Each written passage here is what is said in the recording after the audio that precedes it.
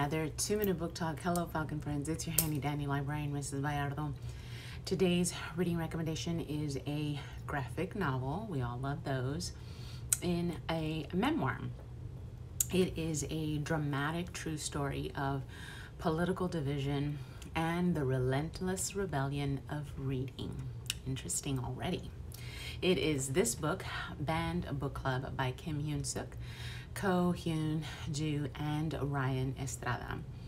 So when Kim Hyun Suk started college in 1983, she was ready for her world to just open up. After acing her exams, and sort of convincing her traditional mother that it was a good idea for a woman to go to college, she was looking forward to soaking up all of the ideas of Western literature far from the drudgery she was promised at her family's restaurant. But literature class would prove to be just the start of a massive turning point, still focused on reading, but with life or death stakes that she never could have imagined. So this takes place during South Korea's Fifth Republic, a military regime that entrenched its power through censorship, torture, and the murder of protesters. So in this politically charged climate, um, with Molotov cocktails flying and fellow students disappearing for hours and then all of a sudden returning with bruises, Hyun Suk sought refuge in the comfort of books. So when the handsome young editor of the school newspaper invited her to his reading group, she expected to pop into the cafeteria to talk about Moby Dick, Hamlet, and the Scarlet Letter. Instead, she found herself hiding in a basement as the youngest member of an underground banned book club.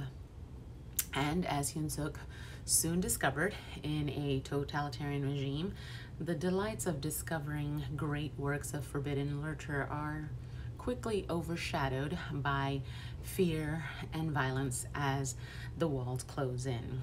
So if you're interested in reading this memoir that talks about the power of reading and uh, rebelling to do so, or the rebelling to be able to have the freedom to do so, then make sure you pick up this book as your next great read. So once again, that is Banned Book Club by Kim Hyun Suk, Ko Hyun Ju, and Ryan Estrada. You can find this book in our library to check out. We can deliver it to you curbside or to your classroom. But if you're wanting a digital copy to read on your device, then be on the lookout for it in our digital library on Destiny Discover. You can also look for it in our Northside Sora Overdrive digital collection. And you can also look for it from the San Antonio Public Library in their digital collection as well.